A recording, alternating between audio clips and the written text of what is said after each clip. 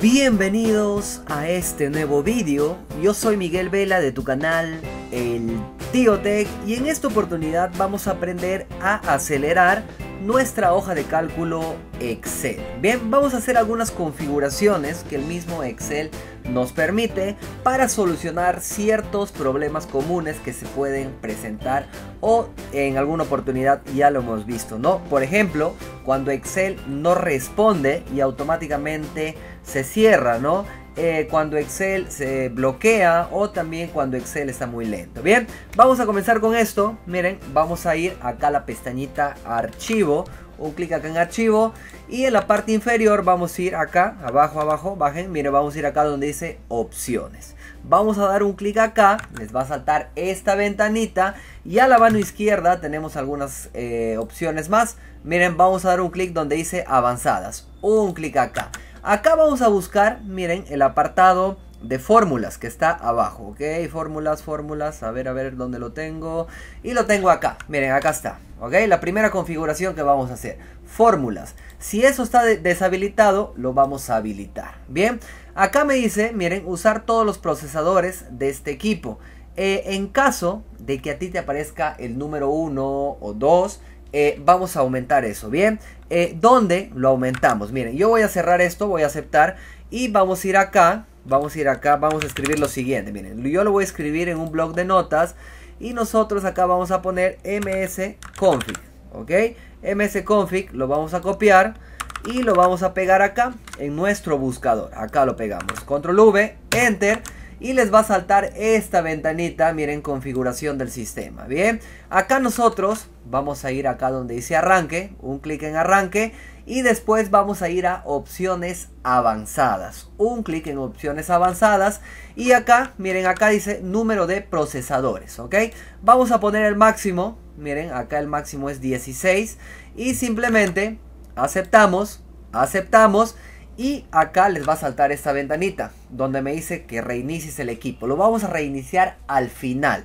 ¿Ok? Salir sin reiniciar. Un clic acá. Ahora sí, volvemos a la misma configuración que acabamos de explicar hace unos segundos. Archivo. Nos vamos a opciones. Acá en opciones. Y a la mano izquierda, acá miren, vamos a ir a avanzadas, ¿ok? Avanzadas. Vamos a buscar nuevamente fórmulas, el apartado de fórmulas que está abajo. Miren, acá está. Y acá, miren, acá les debe salir el máximo, ¿ok? 16. A mí ya me salía, ¿no? Así que le doy en manual, selecciono manual.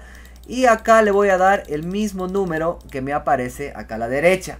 En caso de que a ti no te cambie esta opción, miren, en caso de que no te cambie, puedes reiniciar tu equipo y recién ahí esto se va a actualizar. En algunos casos sucede eso, ¿ok?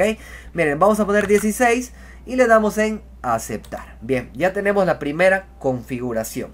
Vamos a ir otra vez a la pestaña archivo.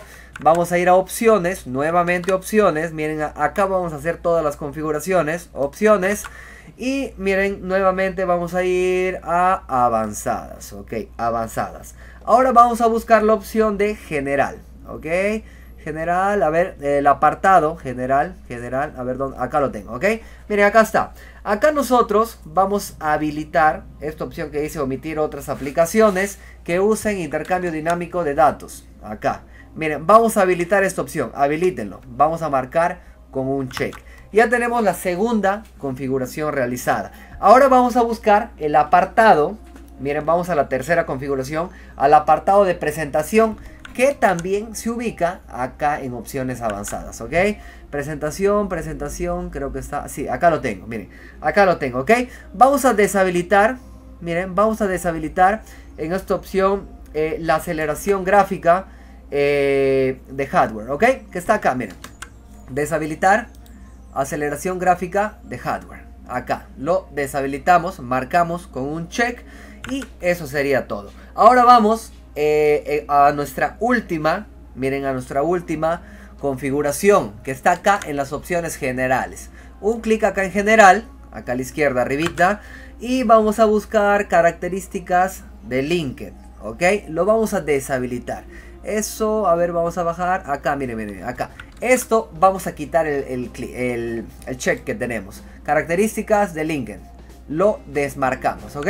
Simplemente aceptamos, miren, aceptamos, cerramos nuestro Excel, reiniciamos nuestro equipo y después nuevamente volvemos a abrir nuestro Excel eh, y ya no va a presentar esos problemas que normalmente te presenta por lentitud, que Excel no responde, Excel se cierra, bloquea, etcétera. Bien, eso sería todo. Eh, si tienes alguna pregunta, como siempre digo, alguna duda, puedes comentar este vídeo para yo responderte. Bien, me voy a quedar hasta acá. No te olvides de suscribirte a tu canal, el Tío Tech, y nos vemos hasta la próxima.